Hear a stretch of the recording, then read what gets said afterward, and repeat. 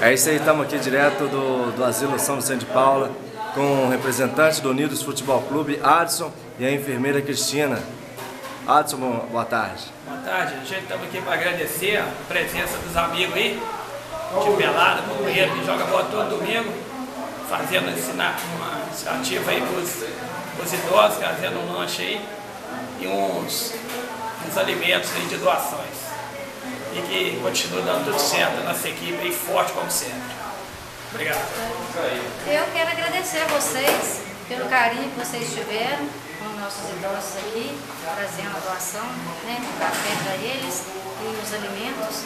Muito obrigada. Que Deus abençoe vocês.